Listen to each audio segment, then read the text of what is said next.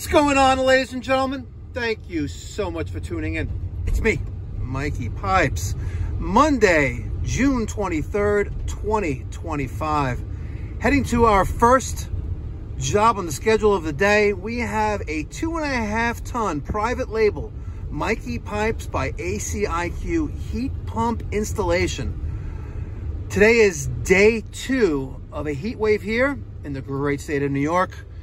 Temperatures should be exceeding 95 degrees as forecasted. We want to get done before noon.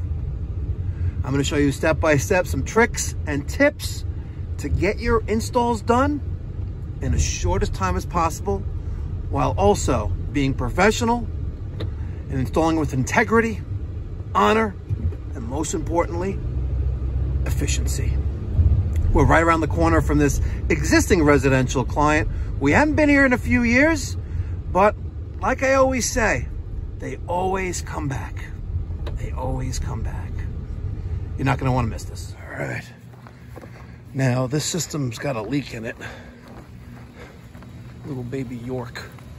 See that little baby York right there? Not that one, that one. Oh yeah, she's frozen.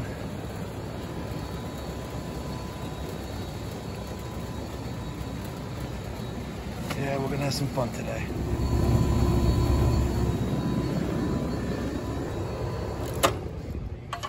And maybe we'll fix that.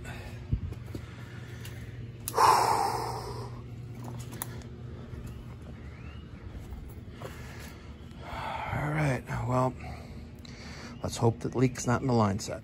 All right, I have my refrigerant, whatever was remaining in the system, pumped down into my condensing coil. Compressor was being cooperative.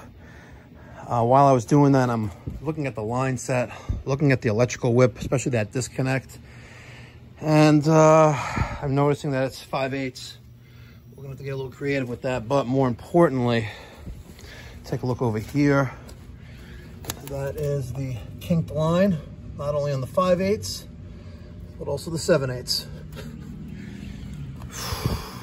Can't make this stuff up, folks.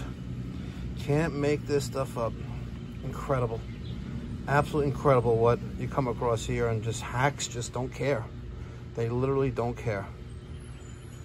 That's gonna be a pain. I don't think I got 5 8 Zoomlock in the shop, but I may have to look. All right, I'm gonna keep it real. It's uh, 840. I got another MC tank. Why? Because the valve on the other brand new MC tank refused to open. I have to go all the way to the shop, get another MC tank. That way I can braze off that kink 90. Wish me luck. All right, wish me luck, folks.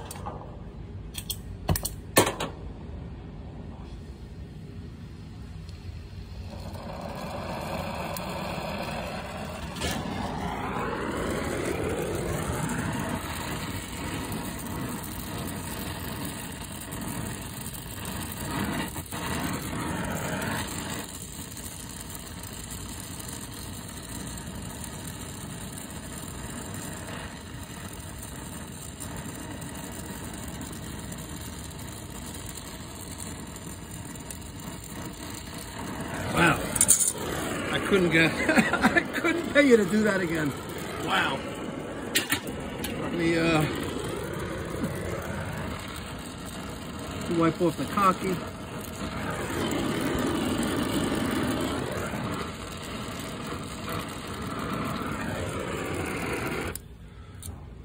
Wow, that's impressive. Okay. Well, let me deburr the pipe. I deburred the pipe. You happy? All right. Hope we got no leaks there. I did mess up with my bend. I made my 290s too far apart. Now I'm like a foot from the edge of this uh, slab of stone here. And I'm probably gonna be a little short. So I'm probably gonna have to cut that back and put a coupling there or swedge there. Here was that uh, 90. Crazy. This has been running for years with that nice big restriction right there. Probably added about 30 feet to the line set because of that kink. Crazy. Oh, she's a wobbler.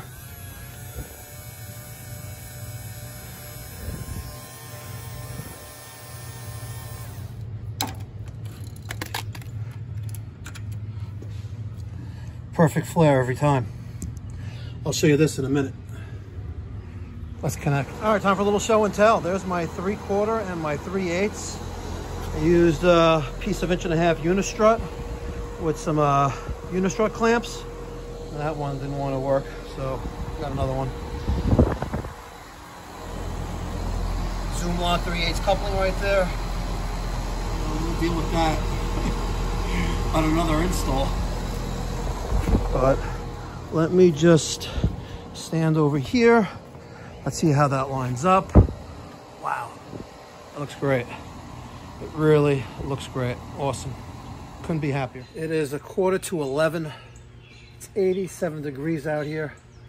I'm getting eaten up by these green flies, these horse flies, eaten alive.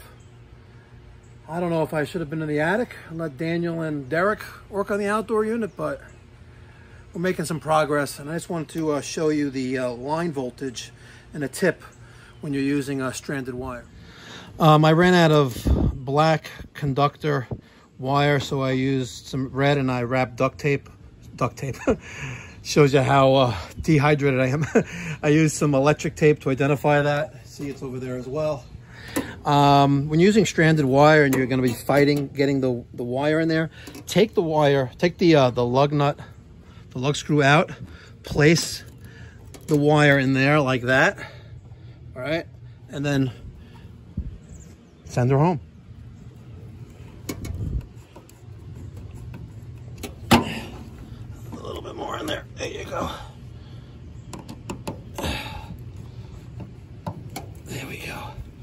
Beautiful.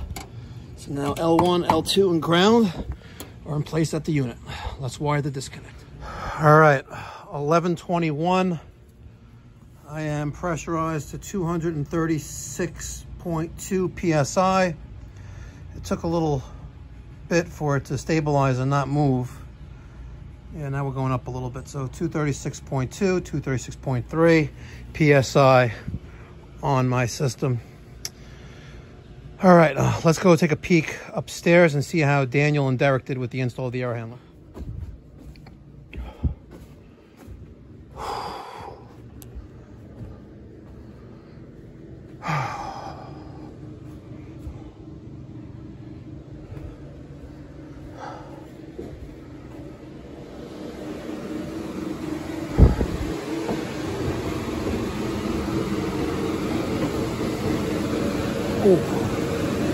about to say it was much cooler down up here in the attic, but as soon as I got to that step right there, I felt it.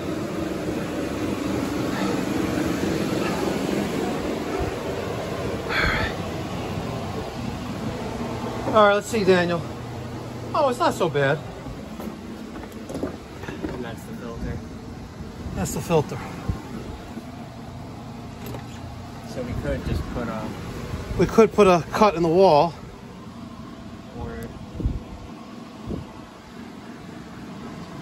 Hmm.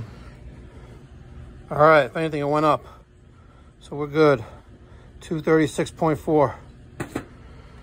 All right, let's start the vacuum process. All right, I have my Fieldpiece VP67. This is the uh, 6 CFM dual stage vacuum pump. I got these new Appion hoses. I got tired of Accutools, literally just like doing me dirty. You know, I even told them I would pay them to rebuild my hoses and my micron gauge, and, and they basically told me to kick rocks, whatever. So, I um, got a new uh, BluVac Plus, $100 cheaper than the other one. Let's uh, connect Fieldpiece. Beautiful. Let's turn her on and it's showing the road. Sleep. No, don't go to sleep. High pressure. It's 1146 and a half. Let's see how this does. All right, it's been about a minute. We're at 16,000 and dropping. Time to get hydrated. All right. Wow, you saw that move? it's a minute to 12 here in the great state of New York. We are at 504, 503, 502, 501. Bah! We're at 500 microns and still dropping. Yeah! It's, a, it's, it's really embarrassing how many people who claim they're HVAC professionals don't know that the minimum is 500 microns when you are vacuuming down a system. Crazy. All right. Let's close this awesome looking valve. 420. Uh, 19, 2022. Let's see if it goes back down. 2260, 2250, 2240. Perfect. So we're going to run this for a few more minutes. We're good. Nice, tight, and dry system. Epic. All right, ladies and gentlemen, it is uh, almost 1230 here. Still Monday, the 23rd of June. Let me give you a quick little overview. This is the private label, the Mikey Pipes by ACIQ. This is their two and a half ton or 30,000 BTU outdoor unit. Comes factory charged with R454B. What's great about these units, forget about being able to private label your own brand and locking in the customer to you for the life of the equipment. We eliminate brazing on the job. Well, looks like we'll be replacing one of those in the near future too. Um, our indoor and outdoor units have flare connections, three quarter and three eighths. It's awesome. They really are awesome. Now, we're not primarily using this system for a heat pump. Otherwise, we would elevate it off the ground. But as an emergency backup, it'll be here for the homeowner because we have the ACIQ Wi-Fi thermostat. It's a great thermostat, looks just like an Ecobee. It's already set up for dual fuel. And when it's 50 degrees or above and there's a call for heat, the heat pump will run. Now, I also took advantage of installing the security tamper resistant bolts to not all four corners, but one corner there and another corner there. I used some 3 8 threaded rod, a, uh, an expansion shield, nuts and washers. She ain't going nowhere. So we have an added bonus of theft protection. So if you live in a high crime area or you're installing a system in a high crime area, rest assured that unless they're out there with, with, with like a socket set or a wrench and you know what I mean, right? Theft deterrent. You can see we're here. I don't think we have to worry about a high crime area. Okay, I'm sitting on a sitting next to an AC unit and the property is over two acres. So let's take out our line set. Again, that flare connection, 3 eighths and 3 quarter, regardless of the size. I put a nice little kick here, bent down, a little 90 across. I got the inch and a half unistrut. Looks beautiful. Really looks beautiful. I even used some of the line set tape to secure my communication wire. Just two wires that are needed here. Serial communication, non-polarity. Good stuff. Really, really, really good stuff. And the noise you're hearing right now is this unit running, not even our Mikey Pipe by ACIQ 30,000 BTU side discharge heat pump condenser. Ultra efficient, guys. Ultra efficient. Do you hear that? It's that one. Awesome piece of ultra modern machinery for indoor comfort, both heating and cooling. For more information on becoming an ACIQ dealer or for private label opportunities, check out the link in the description box down below, aciq.com slash Mikey Pipes. Tell them I sent you. They'll give me an attaboy. Catch you in the next one. Be well, God bless, stay safe. Real quick, let's check out the beautiful indoor thermostat. Wow, look at that. Beautiful, beautiful thermostat.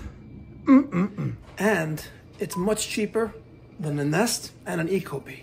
much cheaper.